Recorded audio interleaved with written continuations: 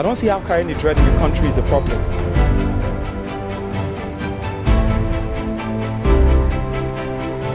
gidi ọ̀rọ̀ ni mò ń sọ fún yín ṣe ní Lagos State yóò worst. Let me tell you something. Where you have your property is where your mind will be.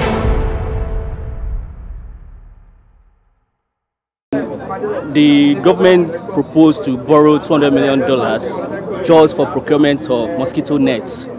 It's uh, actually, uh, I don't care where this is going, what the state, uh, the uh, position of the House is on this. But I know for a fact that this is actually an indication to the fact that we are in a serious trouble as a country. Because this reminds us that there is a loophole in our health sector if you are demanding to borrow $200 million just to procure mosquito nets. I mean, for everything they propose to do, the all, only thing they always do is to go and borrow this money. So you begin to wonder, does it mean that we are really a poor nation like that? No, we are not. Because what happened after procuring this loan is that the project they procured the loan for would definitely be left unattended to. This money, what they tell you is they are procuring this loan for this mosquito net, but the, in the real sense, what they are procuring this loan for is to embezzle the fund again. So even if they are serious about this, but the fact that when these funds comes in, it will still go into the pockets of these same guys. So we definitely make you to realize that no, whatever they intend to do with this, it's actually and it's just the logic they use all the time to embezzle their money. It is a call on the legislative arm of government to rise to the occasion and know for the first time that it is not an all-commerce business. The legislative arm of government is there to moderate the excesses of the executive, including reckless economic behaviors, such that will make it impossible for the kind of depressing uh, information we are getting. Mosquito net in Nigeria in the 21st century should be what we can produce here. To hear that we now need to borrow to fund that is quite depressing. That's the best word I can use. Um, much as not much is expected from the National Assembly that has carried on and endorsing every other thing done by this government. It is also a call on the Nigerian people to see the situation for what it is and realize that the future of this country is massively, if not comprehensively, uh, abridged by the borrowing culture, by the profligacies, and the very clear inability to uh, repay these loans in a way that mortgages the future of our children. Firstly, that is not the way forward. That is not that is that is the wrong approach to solving the issue of malaria. Buying borrowing two hundred million dollars to buy mosquito nets to distribute to who? That is not the approach. That is just a fraudulent way of not even addressing the problem. If the federal government is serious about addressing the issue of malaria, we all know that there's a vaccine that is being worked on that helps to prevent malaria for almost about 10 to 15 years. And it's already been administered in some African countries, in Kenya, in Ghana, and all of that. I was privileged to speak to some of the guys who were involved, you know, from the development partners, and they said the Nigerian government has shown no interest. So what is the reason? Why would we borrow $200 million to buy mosquito nets. When people already have mosquito nets in their houses, there are so many, it's not the right solution to address the issue of malaria. We all saw what happened when COVID came. The whole world started working against not only preventing, they worked towards having a vaccine. And today we can see the results.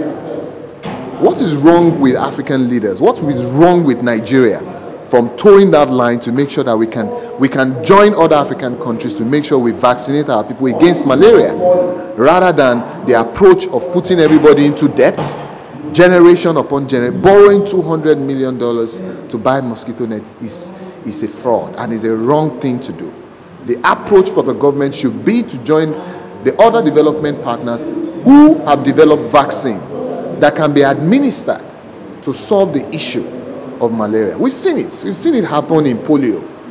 We've seen it. They didn't say, okay, just go and. There was a polio vaccine, and today we can see how polio has been eradicated. So that should be the approach for the government. You, to your first question, uh, no, I haven't. And to your second question, do, do I think I will get my. Ah, I doubt. Why? Because um, there is no sincerity in this um, proposal because it still remains a proposal because um, um, the budget defense is ongoing in the Senate now. And uh, hearing, hearing from the Ministry of Health uh, requesting for $200 million to be borrowed to buy mosquito net is most absurd in its entirety because now that um, there are um, pharmaceutical companies producing um, um, malaria vaccine, which is easily available to get, and no reasonable government will borrow for such for such uh, activity. What it seems to me that some people just want to cut corners or want to just to divert this money to private pockets because these people they don't really care about us. But why now they want to borrow two hundred million dollars for malaria and mosquito net is really worrisome. Well, we, uh, these guys should should be serious for once. Enough of this. Uh, um, how do I put it now? Uh, provocative uh, narrative from their end. Two hundred million dollars. Uh, that could do a lot for that. That could stimulate um, some sectors of the economy and that, that will add value to the um, to the economy. But sadly, now we want to borrow from mosquito net, and even if we even want to go through that end, we don't even need such such huge amount of money. I, am so sure that there are some company, local companies that can be partner that can produce this at a cheaper rate and not 200 million dollars.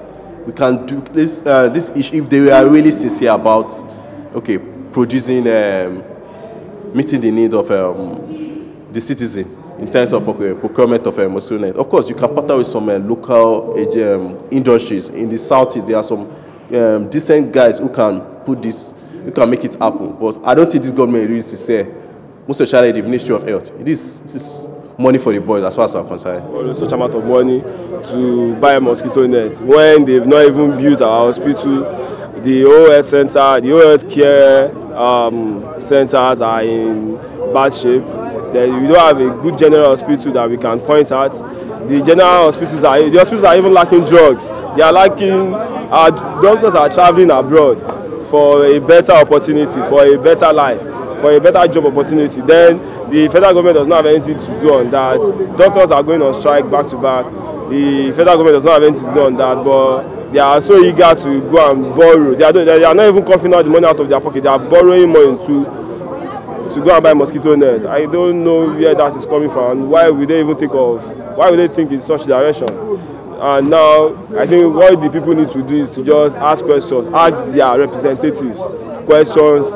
Why are they? What are they representing them for? Why are they representing them? And this is what they are getting at the end of their at the end of them giving them their franchise to put them in office. Now they, they, they, they are not even having the dividends of the democracy they voted for. So and this is not part of the dividends for the democracy. The federal government should do something better about it. It's not borrowing money to cover out mosquito. Mosquito is everywhere in Africa. Africa is a land for mosquito. But we need a good healthcare center in order to have a good health. I, I personally think it's a wrong move it's a wrong decision by the government to actually um, invest the sum of $200 million for mosquito net as a way of fighting malaria. I think that's a misplacement of resources given the fact that there are other pressing issues that actually need such uh, resources. The issue is this, as a conflict manager, one way of addressing the issue is not addressing the symptoms. We should be looking at the main issue. And I think buying mosquito net is not a way of addressing the causes of malaria. So to me, it's a misplaced priority by the government. I think uh, what the government should be doing is to, you know, the, the issue of um, stagnant, uh, what's it called, stagnant water, where mosquito, you know, where they breed, you ensure that the environment is very, very um, clean and conducive. Because the problem is by the time you go through all the drainages, let's use a place like Lagos, you know, you notice that the volume of, um, uh, what's it called, the volume through which mosquito breeds on a daily basis is actually on the very high side. So it behoves on us as leaders to look at those fundamental issues that is actually causing the main problem, not just allocating money. Because the truth is this, you will be disappointed that some of these scarce resources will end up probably in private, uh, in private pockets. And the question is, how do you distribute my, mosquito net all over the federation? I don't think that's a, that move is in the interest of Nigerians. I think such decisions should be reversed, and those particular uh, money should actually be channeled in the right direction into other pressing, other pressing needs, such as education and um, what's it called, other basic infrastructure that will be of interest to the average Nigerian people. So to me, $200 million for mosquito net is a no-no. I'm not in support of it.